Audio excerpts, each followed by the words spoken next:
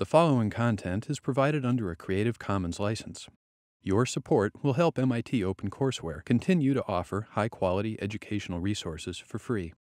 To make a donation or view additional materials from hundreds of MIT courses, visit MIT OpenCourseware at ocw.mit.edu.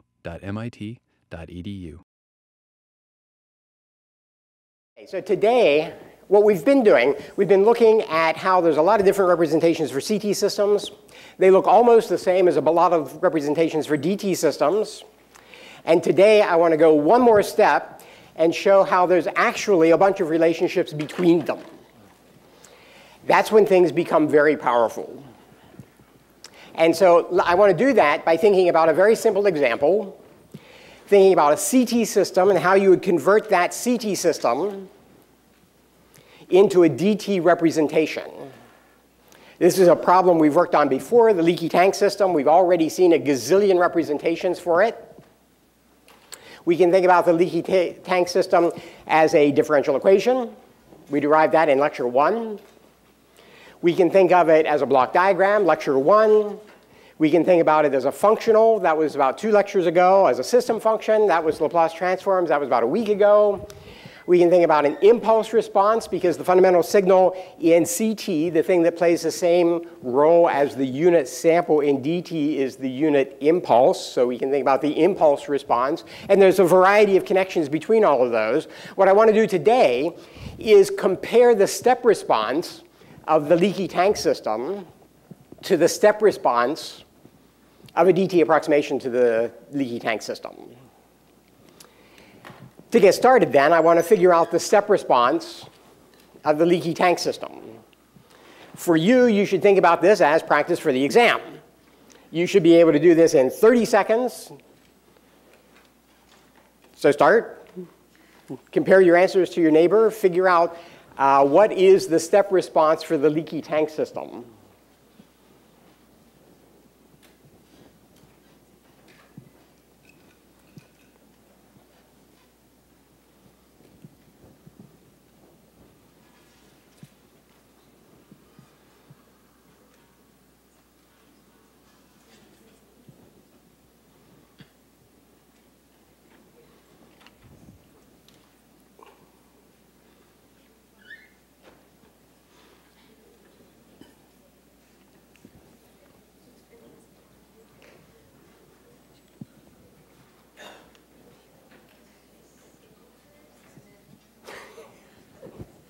No, no.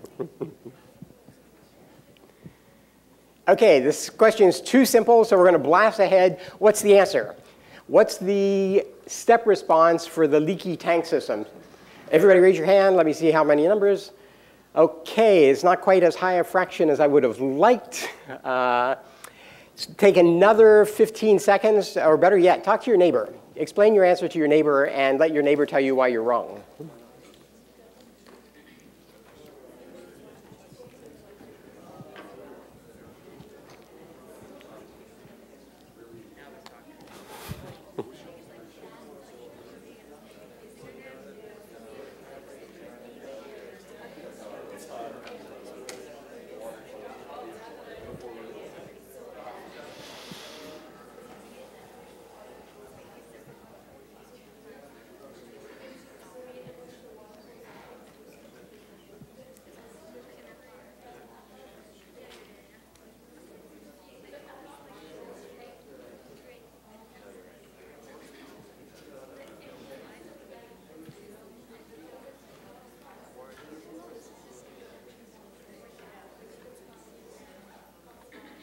Okay, revote.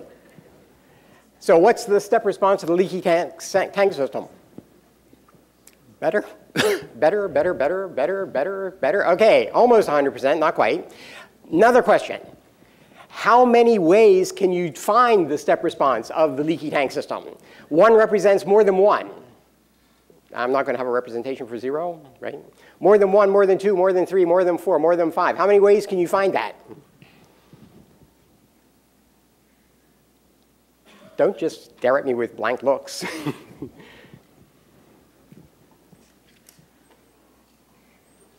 okay, what's a good way to find the step response of this system? You can shout, that way I won't be able to identify where you're coming from and I won't be able to point to you. But you have to be quick because if I see your mouth move, then I'll know which one you are. So I, when I look this way, you shout over here, right? There's simple ways to do this, right?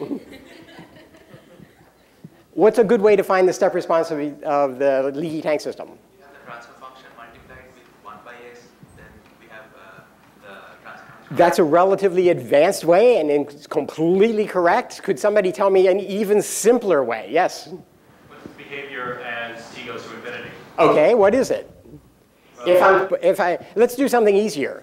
What's the input? Well, it's a unit step, right? So the input is some unit step thing, right? So my input, if I think about some input R naught of t, the input is something that looks like that, right? So if I look at, like you suggested, if I look at what's going to happen for t goes to infinity, what's going to happen? Eventually, the rate at which water is going out is going to be the same as the rate that it's going in. So, ev- It'll level off. so based on that, do I like this one, this one, this one, this one, or that one?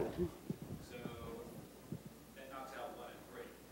Knocks out one and three because we're not expecting it to go to zero because the input didn't go to zero. Good. Okay, so it's maybe this or this or that. What's a good method? What's a good method? Yes? thing that confused me is that for the original problem on the, on the problem set, we had, it was a second order system, but like this one's a first order. This is first order. Yeah, so then you know that it's gonna be, it's gonna look like something that's first order. Still looks like something that's first order. That's good. I asked the question here and I flicked back here. That was a clue. How many ways can you think of to do this problem? Five ways. okay? You could think about solving it by looking at the differential equation. How, how many of you could do that? Okay, how many of you took 1803? ah, good, good. So all of you could do it by doing the lower left-hand corner, right? Okay, you could all do it that way. Uh, you could all do it with block diagrams, right? I, we went around, we thought about how you put a signal into a block diagram and you can chase it around its end, right? You could do it that way. You, so there's at least five ways. Just as rehearsal, I'm showing two ways here that don't quite fall there, so my answer would have been at least seven ways that I can do this problem, because I'm going to show you two new ones that don't appear directly. One way is to think about the dif differential equation, solve it for t less than 0 and t greater than 0, paste the solutions together. With me so far? So solve it for t less than 0, the answer is 0 because there was no input. Started at rest. Solve it for t bigger than 0, that means the input is 1. So you can get some answer for t bigger than 0. Paste the two solutions together by using um, unit step functions. Put the total answer back into the, into the differential equation. That total answer better have the property that it solves the differential equation for all time. Okay, nod your head yes, it'll make me feel like you're, I'm doing a fantastic job, right? So, uh, and the only trick there is thinking about how do you do things like differentiate a uh, unit step function. But the derivative of a unit step function is delta function. The derivative of one of these things, which looks like a product of something that exists for all time and something that turns on at zero, it's just the product rule. Derivative of the first times the second plus second times the derivative of the first. Except I said the same thing twice. Um, okay? And so if you do that, you end up finding out that to match the delta functions and the u functions, it places additional constraints on the constants, and the answer looks like this. Okay? Everybody sort of sees what I'm saying? Here's a different way you could do it. You could think systems. So on the chart, I told you what the unit uh, impulse response was. is 1 over tau e to the minus t over tau u of tau, u of t.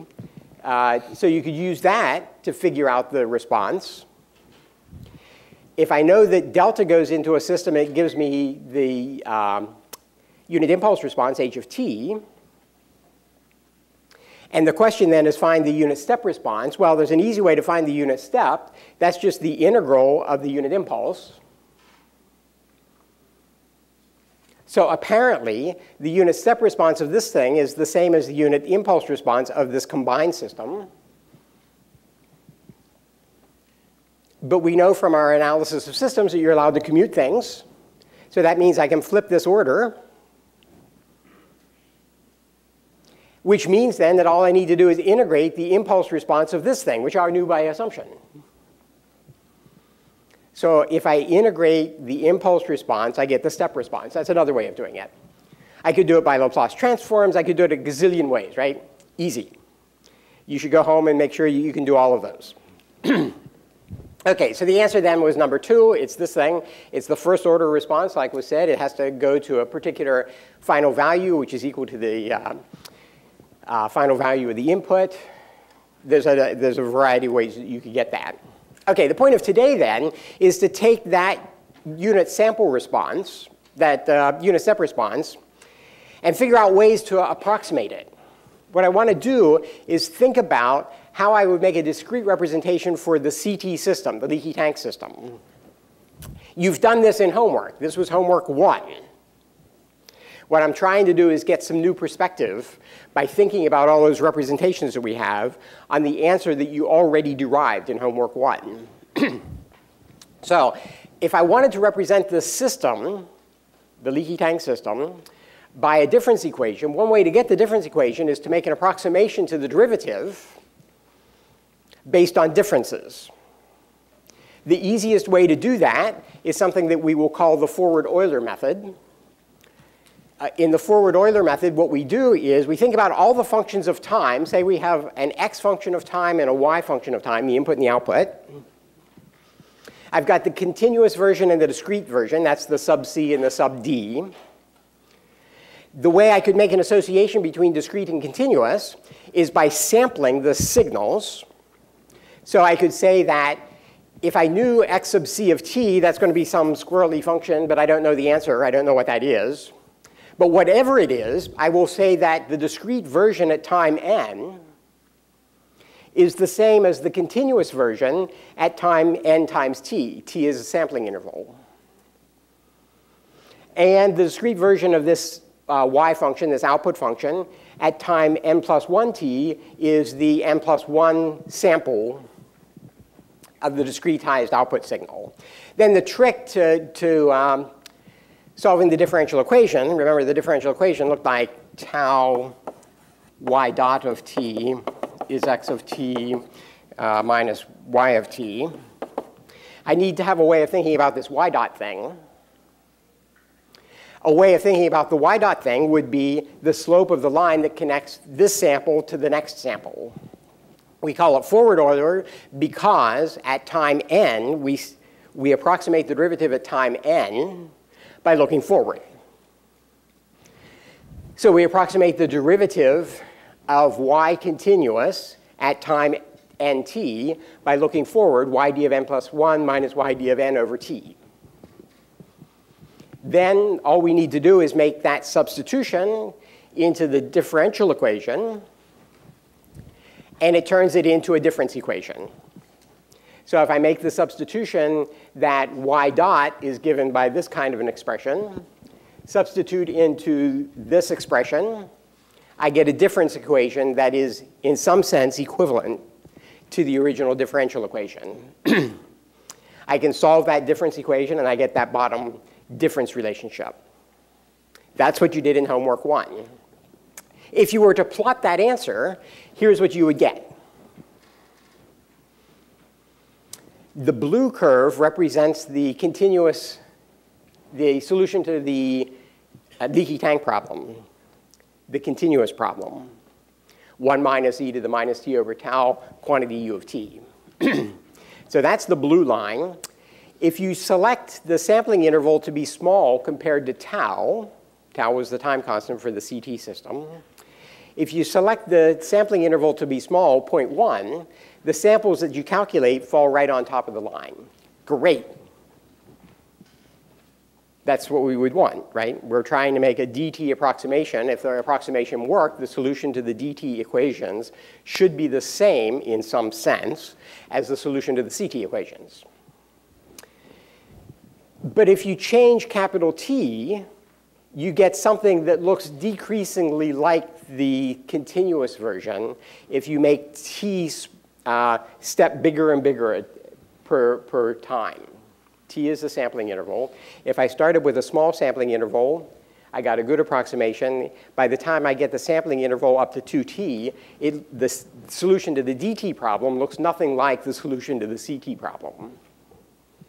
Okay, that's a general problem in a numerical method. So what we're really talking about is analysis of numerical methods. What went wrong?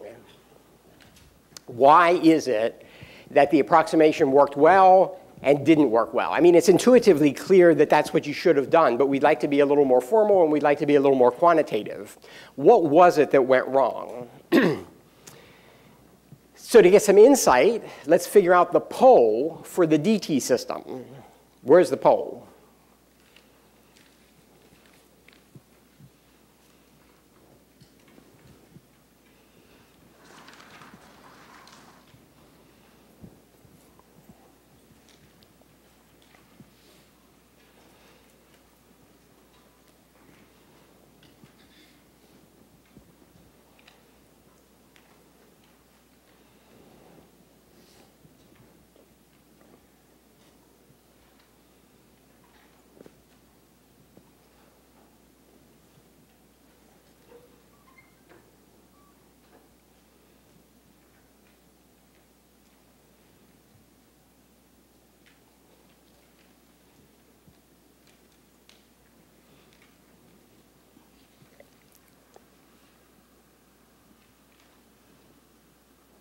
Okay, where's the pole? Where's the pole of the DT system? Okay, not a large voter turnout, but 100% among those who turned out. So the answer is uh, number two. It's pretty simple to see how that would be the answer. If you start with the difference equation, it's very simple to write a z-transform. This evaluate y at n plus 1 is the reverse of a delay, it's an advance. Delay is multiplied by z minus 1, so advance is multiplied by z. So you can take the z transform of the difference equation to, to derive the z transform of the system function. And then clearly there's a pole here at z equals 1 minus t over tau. So the answer was number two. And it gives us a way to think about why the difference solution didn't work well. What we can see is that even though, you remember the, the um, what was the pole of the CT system? What's the pole of the CT system?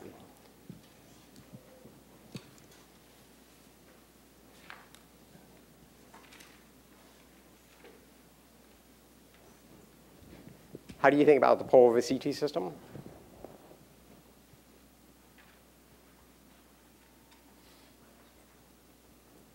Close. What's the pole of the CT system? Minus 1 over tau.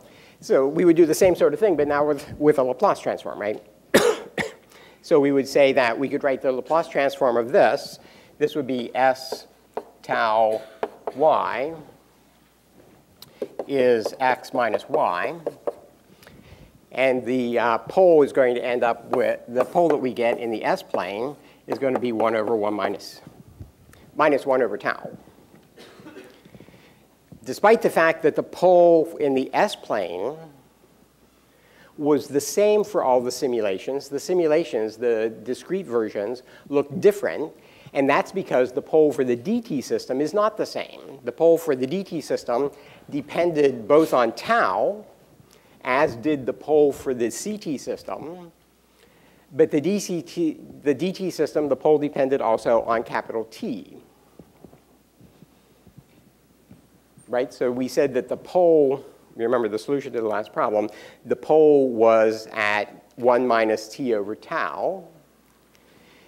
So if t over tau is 0.1, the pole is at 0.9. If t over tau is 0.3, the pole is at 0.7. If the pole is at 2, it's 1 minus 2 is minus 1. So the pole for the dt system depends on both t and tau. And it's given formally by, by this relationship that z, the equivalent pole in the dt system is 1 minus t over tau. So the pole in the CT system was um, minus 1 over tau. The pole in the dt system moved. The amazing thing is that the correspondence between where the pole in the CT system was and where the pole in the DT system is, is completely determined by the forward Euler method. It has nothing to do with the particular problem. Okay? So we just did, we just figured out the map between the pole in the S domain and the pole in the Z domain for a particular problem for the leaky tank. It turns out that that same map holds for every differential equation. So what I want to think about now is how you would prove such a statement. So think about, regardless of the CT system that we're thinking about, I can always write it in a block diagram form with adders, integrators, uh, adders, integrators, and gains. So for the leaky tank system, that was easy. I, my system looked like, um, let's see, I had 1 over tau, um, integrate, add. So my system for the leaky tank system looked like that. So the point is that there's an A there. The Euler-forward relationship is telling me how I can figure out a dt representation for the A function. So let's think about what A is. A, A is a thing that in CT, if the output of A is Y, what's the input to A?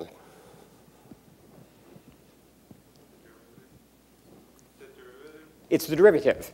So uh, the input we would want to call y dot. So I might say that's x.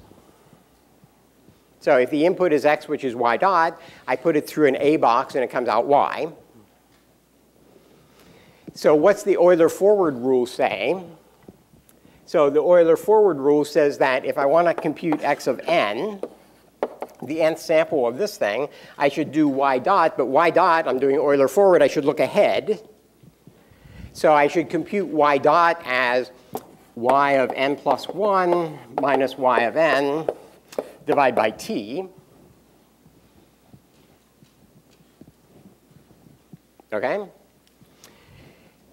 Now, if I want to make a dt equivalent system, what I'd like to have is some kind of a box that I could put x of n in and get y of n out. If I had such a box, then I could replace every A in my CT block diagram with this new box that depends only on delays. So let's think about what would be in that box. If I wanted to make y of n out of x of n according to this rule, what would I do? Well, let's see, y of n plus 1 should be y of n added to tx of n. So if I want to compute y of n plus 1, oh dear, what's y of n plus 1? Where's, how do I generate my, my output? I want to be y. I want to be y of n. Where's y of n plus 1? If I knew y of n, how would I compute y of n plus 1? it would be back one. So if I had an R here, what would be the name of this guy? This would be y of n plus 1, right? Delays have the property that their output is minus 1. I need a signal that's plus 1, so I need the reverse of a delay, which I can implement by having this y signal being generated by an r. Then this equation says that in order to compute y of n plus 1, this thing, what I need to do is add this to that. So I need to add this to that. Okay? The Euler forward rule says if I want to make a discrete approximation to the relationship between y at the output and its derivative at the input, I should do, make one of those boxes. Okay, I have a rule now. Regardless of my CT system, I'll take every integrator and stick one of those in it. And what I'll have is a DT approximation to my CT system that's everywhere based on the Euler forward rule. Is that clear? So now I have a rule for converting an arbitrary CT system into an equivalent DT system, equivalent in the sense of Euler forward. And I know that that transformation will hold. But it's even better than that because I can now say something about the relationship between the position of the pole in the CT system and the position of the pole in the DT system. Because I know this original system, the A, I'm going to think of A as being 1 over S. That's the Laplace transform, uh, transformation. And I want that to be equivalent, according to this map, to some transformation in Z. Right? So I can look at this thing and I can see, well, that system function, if I represent that whole block by a system function, the system tra transformation looks like that. But ours, that's the same as 1 over z. But that's the same as t over z minus 1. Apparently, there's a relationship between s and z. In fact, z minus 1 is st. z is 1 plus st regardless of how of what CT system I started with, if I use the Euler forward relationship to make a DT approximation of the integrator, the resulting transformation will always have that property. That's exactly what we saw over here. So we think about the A's in the original system being mapped to something uh, that's a little bit more complicated, showed here but it's a DT representation. And that DT representation always has this property, that wherever the poles were in S, I can find where the poles were in Z by taking Z equals 1 plus ST. That's how we get from, uh, that's how we get the dependence on T if the original pole was like over here at minus 1 over tau, we just put uh, s equals minus 1 over tau, and we get precisely this relationship that we got before. The 1 plus st, which is what I found here, is the same as the 1 minus t over tau that we found for the particular example of the leaky tank. Yes? Um, I think you mentioned this earlier, but this is purely because of the mechanics of the forward Euler, because of forward Euler. This is only true if I decide that all of my integrators are approximated using the forward Euler rule. It's absolutely true. Okay? And that's a very interesting result. What it says is that if I think about how were the poles distributed in the S-plane, I just use that rule to figure out how they'll be distributed in the z-plane. The rule says take the S-plane pole, scale it by capital T, and then shift the answer by 1. Well, that's pretty interesting because that means that there are S's over here that when I go through that map end up outside the unit circle. That's exactly what I found that transformation has the property that it can map a stable CT system, a perfectly well-behaved CT system, into an oscillatory or even a growing divergent DT system. And you can see that simply because of the map between uh, Z and S. Had S been some number over here, the, the uh, response, the, the um, unit impulse response of the CT system would have been completely well behaved, e to the minus st. But the response to the dt equivalent would be badly behaved because it would have mapped outside the unit circle. Okay? And as you motivated, the, that's only true because I did Euler forward. I can do precisely the same analysis for backward Euler. Instead of approximating derivatives by looking forward in time, like I did before, I could instead look backward in time. If I look backward in time, it looks almost the same. Now I say the derivative at the time n cap t is n minus n minus 1. Look backwards. Seems like a trivial difference. But in fact, the answer comes out completely different. If I look backwards in time instead, let's see if I can, so if I look backwards in time instead,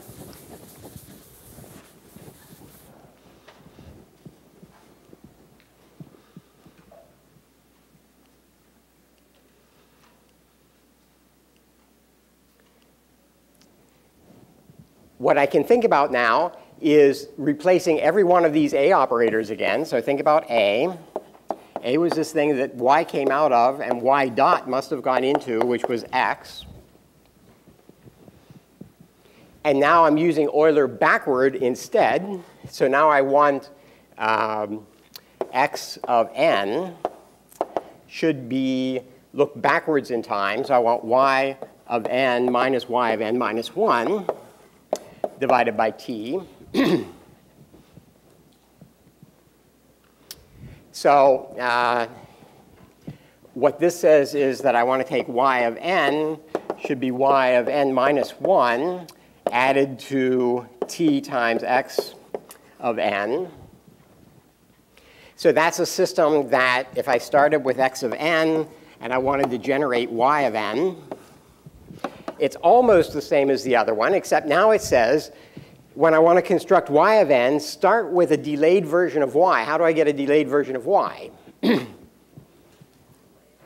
delay it. So I take y and I delay it like that. What comes out here is y of n minus 1. And then y of n is y of n minus 1 added to t times x of n. So it's like that. It's almost the same, but the math is different, right? So now I'm replacing my a's, which are always 1 over s, with a system that looks like t going forward divided by 1 minus r in the bottom. So that's t over 1 minus 1 over z. So that's zt over z minus 1. So that means that z minus 1 now is stz. Cross multiplying 1 minus st on z is 1, so z is 1 over 1 minus st. I got something that looks completely different. This is backward Euler. This is forward Euler. So the answer for forward Euler over here is 1 plus st. The answer for backward Euler is 1, 1 over 1 minus st. Everybody with me? So now, when I think about where do the poles land,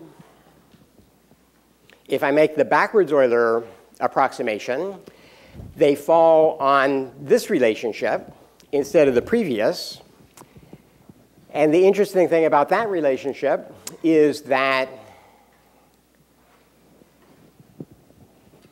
if you think about the way this works, every point in the left half plane of S, according to this map, ends up inside a little circle in the Z domain. The entire left half plane maps into the circle that's shaded in the right. If you just make a picture, if you just think about plug in s equals 1, where does z happen? Plug in s equals minus 1, where's the new z? Plug in s equals uh, 1 over t, where's the new z? All of the values in the left half plane for s map inside a small circle in the z plane, which means that if the original system had a pole anywhere in the left half plane, remember left half planes, left-sided, we're thinking that those are the kinds of systems whose uh, unit sample, unit impulse responses converge towards zero. If you had a system who, that had poles in the left half plane, and you do the backwards Euler transformation, you're guaranteed to get a system that has poles inside the unit circle. In fact, they're in a smaller circle than the unit circle. Okay, everybody sort of know what I'm talking about? So this is the idea of thinking about not relationships among DT representations or representations among CT systems, but relations between CT and DT. It's because we can cast each of those kinds of systems into a polynomial representation that we can make a correspondence between the CT system and the DT approximation. I'll talk about just one more, and that's the uh, trapezoid rule, which is what you did in homework two. You may remember homework two, right? Since it was due like yesterday. Uh, so the last problem in homework two had to do with finding a numerical approximation to the mass and spring system. And if you remember, we did three of them. Those three were actually forward Euler, backward Euler, and trapezoidal rule. trapezoidal rule says, okay, I didn't like this idea of looking forward. That seems anti-symmetric. What's special about forwards? Or backwards, that's also treating backwards special. I want to treat it symmetric in time. That's what the centered difference approximation did. The centered difference approximation in homework two was based on a trapezoidal rule. The trapezoidal rule says, okay, let me approximate my dt output. Let me, let me think about a sequence of samples in a dt output, y then. Let me force the differential equation to be true at every point between samples. In the forward Euler and the backward, we forced the differential equation to be true at integers n. That made us compute derivatives by looking forward or backwards. In the trapezoidal rule, we force the differential equation to be true between samples. Then we say, okay, this, the signal, yc, should be the average of those samples. And the derivative should be the difference of the two samples divided by t. So they're centered. Everybody see that? So we're going to force the differential equation to be true at points between the samples of the difference equation. And that's going to give me a different kind of relationship that looks strikingly the same as these kinds of relationships. Okay, so now I'm going to say um, that I would like to have A which maps y, y dot is x. Except now what I'm going to want to say is that uh, x, which I will represent as the average of the nth and nth minus 1, should be constrained to be the derivative of this guy, which I will do by looking at the corresponding values of y. Okay? And so that gives me a different way of doing the approximation. I get y of n should be y of n minus 1 uh, let's see, plus t over 2 x of n plus x of n minus 1. Just a different rule for how to do the derivative. That's all I've done. But it gives me a different kind of a system. Now I want to have x of n go into something that I will make my new A boxes. Uh, to compute y of n, I should have a delayed version. Well, that's easy. I make one of those. And y of n should be the sum of the delayed version and t over 2 times a delayed version of x. So I'll have to do this. So now I have the sum of x and a delayed version of x, and I put that through t over 2. So here's my new discrete approximation to the accumulator. And I do just the same thing I did before. I say, um, what's the value of, what's the relationship between s and z?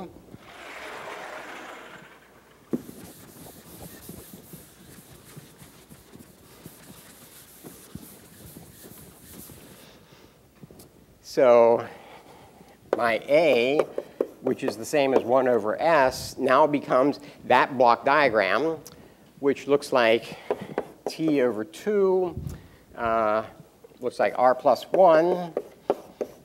Yeah, see, 1 plus R. Let's do it the other way. so T over 2, 1 plus R, 1 minus R. so T over 2 from here, 1 plus R from here, 1 over 1 minus r from there, uh, which I can convert into z, and I'll get t over 2 z plus 1 over z minus 1. I don't think I made any mistakes yet. so then I get, um, so z plus 1, uh, z minus 1. bring that over there, bring that over there, st over 2z plus 1. And now bring the z's over here, 1 minus st over 2 operates on z to give me 1 plus st over 2. So z is 1 plus st over 2 over 1 minus st over 2. So that's my new transformation based on the trapezoidal rule, which is showed here. Hopefully they match. So z maps to 1 plus st over 2 divided by 1 minus st over 2. And the interesting thing about that transformation is that it maps the entire left half plane of S precisely into the unit circle. that was the reason that the trapezoidal rule worked so much better on the problems that you tried in homework two. so if the pole starts out being real, so that it's someplace in the S-plane on this red arrow, Euler forward gave us a pole in the Z-plane that could be, if t is big enough, outside the unit circle. In the Euler backwards method, it always lands someplace in the unit circle. In the trapezoidal rule, it lands someplace in the unit circle. But in the mass spring problem, the poles were on the imaginary axis, which means that in the Euler forward method, the poles went outside the unit circle. That's the reason the solution to the mass spring problem diverged in the Euler backward method, the poles that were on the j omega axis mapped to the perimeter of this inside circle. That's why they converged. Even though the mass spring system should have oscillated forever, in the solution that you did with Euler backwards, it converged. And that's because it the method maps poles on the j omega axis inside the unit circle. That's not what we want. What we want for the mass spring system is to map the j omega poles directly onto the unit circle so that pure oscillations over here correspond to pure oscillations over there. And that's exactly what the trapezoidal rule does. Okay, so the point then, the, uh, and this was the solution to that homework problem.